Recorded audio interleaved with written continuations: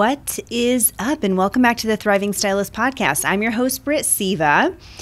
And today we're talking about impulsive growth theory the growth destroyer. And just at the top of this episode, I'm going to tell you like, impulsive growth theory is not a scientific study. There was no clinical psychologist that worked on this. This is the theory I've made up. And I wanted to give it a name because I have a feeling I'm going to be referencing it a lot. I think that this impulsive growth that we're seeing throughout our industry is causing the industry to feel extreme fatigue, to feel less than. I think it's causing people to make really irrational decisions. And I just want to unpack it a little bit, if for nothing else than to bring awareness to some of the shifts that I'm seeing. So, we're going to dig into like where I came up with this, if you might be being affected by it, and hopefully by the end you'll feel some relief as far as how to grow your business forward. So, first and foremost, I understand that everybody who listens to this show is looking for growth. Like, this is a business podcast. This is not like me coming on and telling stories about my day or celebrity gossip or news. This is a business growth podcast. And so I know that if you're here, growing your business, making more money, living a wealthy lifestyle is what you're here for. And I love that this industry as a whole really caters to those who want to be self-made and want to make it on their own. And so, uh, you know, a lot of people in this industry say things like, "Well, I'm very multi-passionate." I know that doesn't often in this industry that doesn't make you an outlier. It makes you like the perfect person to become a stylist or salon owner or barber because that's so indicative of the people that this industry usually attracts. We're creatives, right? We like the idea of being able to do our own thing the way that we want to do it having freedom and flexibility, I think those are the commonalities that bind us. However, sometimes some of those things can also be Achilles' heels, and I want to explain why. So let's get into the facts and figures for just a moment. So, historically, you can look up this data, just go ahead and Google it. The number of new business applications grows by 7 to 8% a year on average. So some years it's less, um, rarely is it more than that, but 7 to 8% is the average number of new business applications growth year over year. So, for example, in 2017, there were 3.18 million new businesses registered. In 2018, there were 3.4 million new businesses registered. So it's not saying that the number of small businesses grows by 7 to 8%. It actually grows by a lot more than that. But the number of people interested in becoming entrepreneurial, interested in being business owners, that number is growing significantly. The reason why this counts is when you look back to, I'm a millennial, when you look back to like, the boomer generation specifically, or the silent generation who came before them, and all these others. Um, Gen X to a degree, but mainly the boomer generation and the generations before there was a very small number of people who owned big businesses and most people were employees. Like even like there was the handful of people who owned small businesses in town right? There was the guy that owned the grocery store the woman who owned the diner in town right? There was you know a handful of these people. More people chose to work for those people because that was the model right? Owning a business made you the minority. Most people were employees working for others. That was the majority of how the united states looked Flash forward, and for decades, that we've been living in this time of opportunity where one of the amazing things about being here is you you do get the opportunity to open your own business and do your own thing and there's lots of freedom in that. And so there's been this increasing curiosity of people who say I really want to do my own thing, okay? So historically we were seeing that 7 to 8% annual growth. Okay? In 2020, we saw a 25% growth in people starting new small businesses. In 2021, we saw 30% growth. So you're talking two to three times more businesses were created in 2020 and 2021 than ever before. There was this huge entrepreneurial boom in 2020 and 2021 of these people who said, this is my time. I'm going to start a side hustle. I'm going to finally go out on my own. I've had, had this creative idea that I've been thinking of for a while, and now I'm going to make the leap of faith. There was this massive number of people who took that opportunity. I think that it was almost the, the perfect time, the perfect storm. And I think it was a combination of a few things. One being stimulus. Um, there was a lot of additional money in the economy. There still is. Inflation is at an all time high right now. But there was a lot of opportunity financially for people to do things that they couldn't do before. Number two, thanks to the slowing of pace of life in 2020 and into 2021 based primarily because of the COVID-19 pandemic people had more time. The other thing that the pandemic give it, gave us was a renewed perspective. Like how many of you post 2020 just don't want to work as many hours anymore. Like you want to have more life balance. You want to slow your pace a little bit. You still want to do business, but your perspective on what that looks like has changed. For the majority of the workforce, it did. Like you look at corporations now who are trying to get their employees to come back to the office, it's so hard. These employers are learning, losing like 30% or more of their staff because no one wants to come back, right? So there was this increased interest in, I don't want to listen to what somebody else has to say. I want to do my own thing. And I want to prioritize life in a different way, right? Then lastly, we have influencer culture. And I think layering that in created this curiosity, right? We saw people, we still see people blow up on social media. And you watch somebody who's doing you know dances on TikToks and next thing you know they're they're getting million dollar sponsorships right? They're getting these incredible opportunities. You know when I'm scrolling social media I see so many posts from people who are like you should do drop shipping. You should do this new thing and you'll make $10,000 passively a month. You should try this. This is how I made money fast. And we were living in this time where it felt like whoa people are up to big things and they were. The data shows that they were. In 2020, 25% of new businesses started increased by 25%. And in 2021, that number increased again by 30%. So you're talking about millions and millions of new businesses starting. So what happened is we got a little jaded. Yes, you did see lots and lots of people sharing stories about how successful that they were. The problem is, the overall stats didn't change. So, historically and still now, 90% of startups fail. Here's the trick only 10% fail within the first year. So, 90% fail over time, but only 10% fail in the first year. 70% fail in years two through five. So, what we understand is that a lot of the businesses that were starting in 2020 and 2021, 70% will fail before 2026. And what happened was there was this explosion, and there's still a lot of that explosion radiating of people who are really trying to make it. And you know what? 10% will. Statistically, 10% will. But we've already lost 10% who didn't make it in the first year or two. And now we're going to see another 70% not make it based on the statistics. I'm not saying that to deter you from starting a business. I'm actually going to share some strategies in a moment that are going to encourage you. But what I want you to understand is that I think for a lot of people, they felt this FOMO if they didn't do something creative or new or explore passive income, or it felt like a lot of pressure to do something radical, which leads me to this impulsive growth theory concept. Something else you have to understand was that by the end of 2022, consumer debt was up by 16%. That's a lot in one year. And it's not any one thing that caused that. Like a lot of people want to point fingers and say, like, oh, it's because of businesses closures or oh, it's because of layoffs. It's actually not. When you do the research and find out why debt went up, it's a combination of things. But a huge portion of it is people taking out loans or or things to start business ventures and not getting the revenue back to recoup it. It's just part of where we're at. There was this big culture of get rich quick. And now as the reality of, oh, shoot, it's not that easy is finally starting to hit, is everybody starting to realize that, like, oh man, this is not as easy as I thought it was going to be?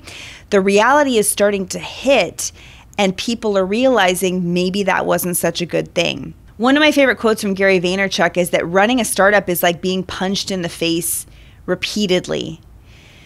I think that's so true in that when you start a business, you have to be ready for the blows. There, it's not going to be easy. And whenever you're looking at anybody's business and thinking, wow, I want what they have, you are seeing the best of the best of them all the time. They're not showing you the messy behind the scenes when they're crying in the corner and it's all falling apart. And so it's easy to say, like, oh, well, that's not so hard. It's all hard. If it was easy, everybody would be gajillionaires, but they're not. Like running business is hard. And when Gary says, running a startup is like being punched in the face repeatedly. I think a lot of the industry is feeling that right now. I think there's a lot of burnout. We talked last week about imposter syndrome and how people are using that as how they're feeling. I don't think they're feeling imposter syndrome. I think they're feeling this impulsive growth pain. And I want to talk about that. So let's look first and foremost at the definition of impulsivity. Impulsivity is broadly defined as actions without foresight that are poorly conceived, prematurely expressed, unduly risky, or inappropriate to the situation, and that often result in undesirable outcomes. Oof. I think that over the last few years, this idea of being a stylist isn't enough. I've got to be a salon owner. Being a stylist isn't enough. I've got to be an educator. Being a stylist isn't enough. I've got to open six locations. This idea of not enoughness bubbled up from this weird, once in a lifetime vacuum that all of us kind of got into, thinking that I don't want to miss out. So I've got to do something new because that's what millions of people were doing. And the reality is, most people didn't start anything new, but the people who did start something new were the loudest because of social media and they were trying to become influencers and that's how you grow business and all these things. And so it, the pressure really mounted thinking, "Oh my gosh, this must be what success looks like." I don't think it is. I don't think it ever was.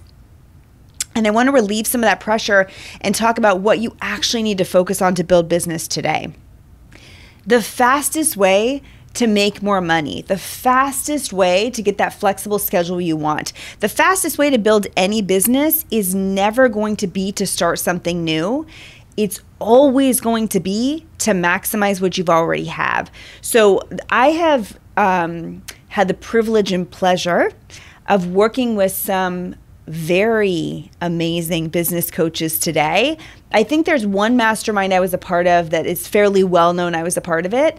Most of the one to one coaches I've worked with in the last two years, y'all will never hear about the partnerships. There was NDAs involved and private consulting. And what I noticed is when I made these big asks to these huge business consultants, one of the stipulations every single time. It was like the only consistent stipulation is none of these business coaches would work with any business owner who had more than one business.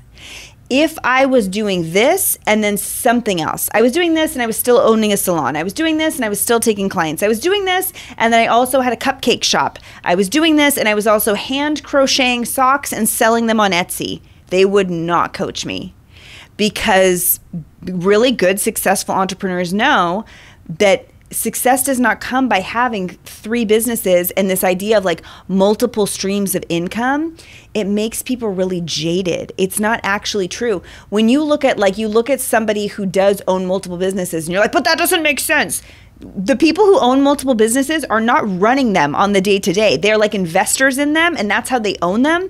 But you don't see a lot of people who are the CEOs of three companies. Yet in our industry, we're seeing that we're seeing people who are like, well, I'm a stylist and I also educate for such and such a brand and I'm working on opening a salon.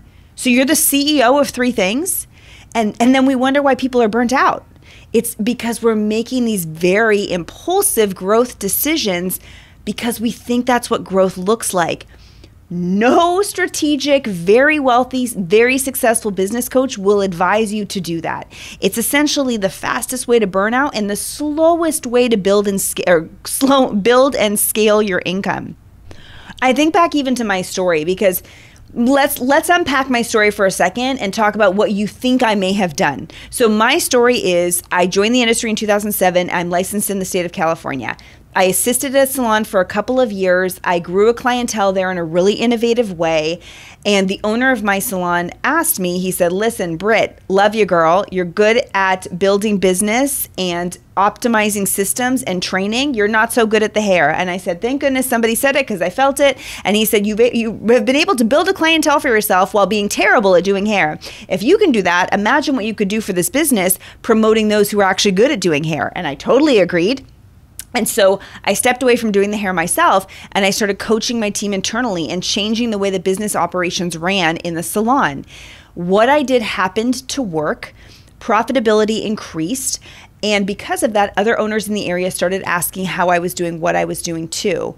The coaching grew very organically even at that point, I did not say, amazing. What I'm going to do is I'm going to stay in this salon and be this salon director, and I'm also going to run this coaching business. I knew from the jump that I could not do two jobs and make make a living and a life for myself. I knew from the start. So what did I do first? I tried to buy out the owner of my salon. I did not say, "How do I scale this business as an educator? I'm really on to something." I said, "If I can if I can make this salon triple in revenue and increase in profit massively, why wouldn't I just keep doing that?" For honestly, honestly, that would have been the easy shot. my life actually would have been simpler and I still would have probably made about the same amount of money at the end of the year had I just kept doing that. That would have been much easier. I couldn't come to an agreement with the owner of that salon. It didn't work out. So then I tried to open another location, uh, two times, three times. It's getting blurry now how far I made it all the way. But I looked at multiple locations, fell apart in city permits over and over again. I did not want to have multiple jobs. I wanted to do the thing I knew I did well in the simplest possible format. When all those avenues closed for me, I went all in on coaching. And at that point, I stopped working at the salon and just did this because I knew that this idea of start a side hustle, you can do multiple things. I knew back in 2015 that that was not it. I had the sense back then as like a 28 something year old something person that this was not going to be the way it was done. I had to go all in. And so, in a massive amount of debt, um, not making very much money at all at the beginning, we lived on a shoestring so that I could go all in on just this business. I know that's not for the faint of heart. I can't suggest anybody follow that path because I am part of that very small 10% who was able to take a startup and make it. I know that.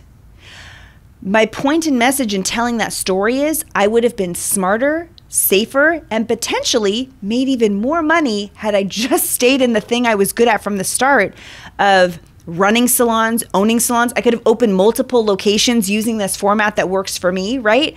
I had that dialed in. That would have been such the easier path for me. I'm almost a decade into running this business I have now, and now finally I'm getting some lifestyle balance back. And so, what I want, the reason I share that is any business coach will tell you it is so much faster and easier to scale and maximize the business you already have than to start something new. Even if the business you already have right now is not going well, it is so much more logical to focus on the thing you've already started, maximize that till the cows come home, and then look at potentially stepping away from that and into something different. Okay. So I want to unpack the reasons I think that people start new businesses or choose to get certified in new specialties really impulsively rather than creating a strong growth strategy where they are. First reason, they're bored. And this is such a common thing amongst especially driven, successful people. There's a, something that people don't tell you about success is that you start with any goal or any ambition or any dream and you say, Oh, I just really want to achieve that thing. And in your mind, you think, once I achieve that thing, I'm going to be content.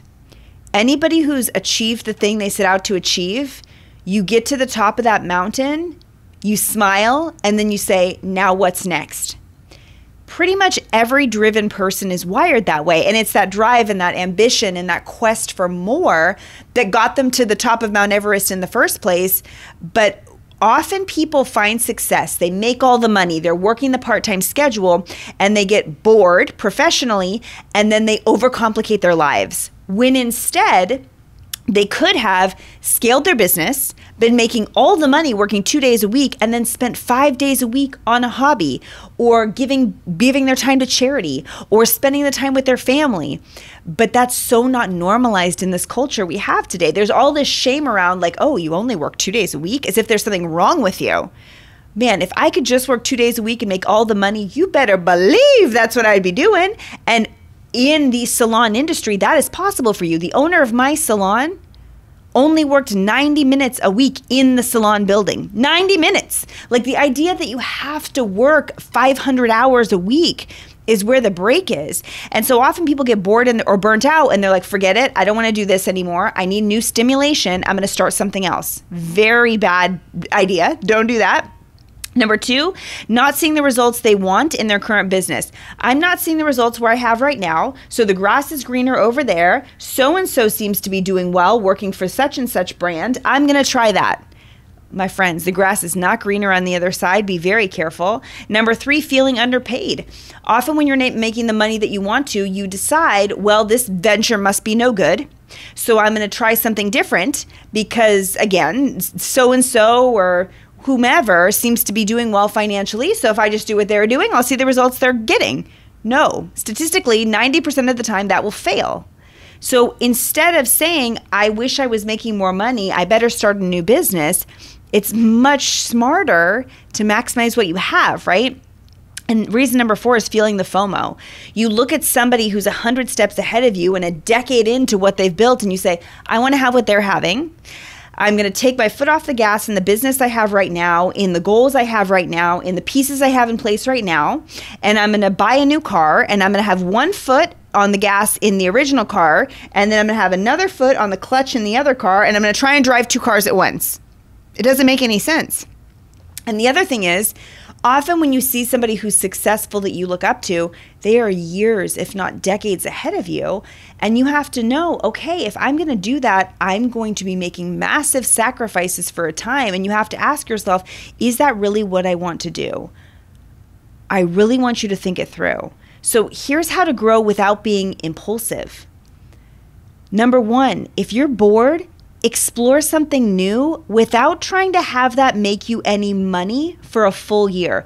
I understand the feeling of boredom. I'm one of those people who can't even watch a movie in the movie theaters because it's too long and it's boring for me, no matter what the subject is. It doesn't matter. I need more stimulation than that. I think where people mess up is they say, I want to try this new thing. How do I monetize it?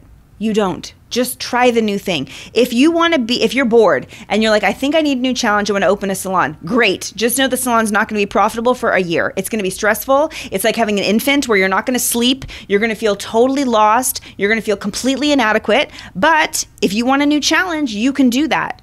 But what I want you to think of is, am I so bo- bored that I want to spend the next year doing something that makes me no money? If the answer is yes, then you should do it. For me, if I'm I am bored right now, I'm going to pick up running again. That's never going to make me any money, but it's going to bring me personal fulfillment. Don't feel boredom. Don't try to supplement boredom with monetized strategy. It's just too impulsive and not the way to build a successful business. Number two, you're not seeing the results you want. If you're not seeing the results you want working as a stylist, I promise you education is what's missing. You are trying your best. There's nothing wrong with you. You're not stupid. Remember, I admitted in this episode I was terrible at doing hair and still built a clientele because I, I had the systems and framework to do so. So if you're not seeing the results you want in the business you have right now, all you need is education. You don't need to add on an additional challenge or do something completely new. You need to educate yourself so that you have the skills to get you where you want to be. Number three, if you want more money, double down on the business you already have. We shared in the stats today, your odds of making more money in the new business are slim to none. Do some people do it? Absolutely. 10% do. And I'm a huge fan of you know, failing forward and making the leap of faith. Nobody was ever found success by playing small. But again, going back to step one, if you decide to make the leap of faith, I think you should do it without planning to make an additional dime more for at least one full year. And if you're like, that's okay for me, I just need the challenge, I need the stimulation, I'm okay to do it even if it doesn't bring initial money for quite some time, then it might be worth it to you. But if you're making the decision simply because you want more money, be very, very careful. There is so much more financial potential in the business that you already have, no matter what it is. If you're a stylist, if you're a salon owner, if you're an existing educator, whatever, there is more money in the business you already have right now than the thing you're randomly thinking about starting. I promise you that. You'll only know if you've been working at this new venture for a year if it has legs or not. Okay. Number four, Stop looking to anybody else and stop catching the FOMO. You have no idea what anybody else is experiencing. If you look at somebody on social media and you judge what they're doing and you're like, oh, I want everything they have, we know social media is simply the highlight reel. We know that all anybody is showing is the best of the best. Very few people are showing up on their worst day. And often those who do show up with like the crying videos on social media, why are they doing it? Because they want to go viral. Like you don't even know how much of that is authentic. And it's like, is that really what you want? You, you want to expose it all? Like, probably not. It's probably not the direction you're actually heading in. So don't say it looks like so and so is experiencing this. I'm going to follow their format and hope to strike the same gold. They may be hitting coal, they may not be hitting gold and diamonds. You have no idea. I hope that this idea of impulsive growth theory has made sense. I wanted to kind of sum up and put a bow on a lot of the emotions that are running in the industry, a lot of the pressure that exists in this industry right now. And I want to remind you the story I've shared quite a few times. The stylist that I saw for many years was inc- is was an incredible woman and still is in my eyes. She passed away from cancer in the early 2000s and still to this day her funeral was the most attended funeral I have ever been to. And so if you're buying into the idea that being a stylist isn't enough or you're not making enough of an impact or you can't create the wealthy life you want to, I'm doing air quotes right now, just being a stylist, you're so caught up in what's happening on social and you're so caught up in this impulsive growth theory that you're not even seeing the forest through the trees. You are enough. This industry is enough. I know tens of thousands of stylists who make an insane living working in this industry, working part time. You can have it all. Gain some perspective, gain some focus, Look inward more than you look outward and let the impulsivity go. Y'all, so much love. Happy business building, and I'll see you on the next one.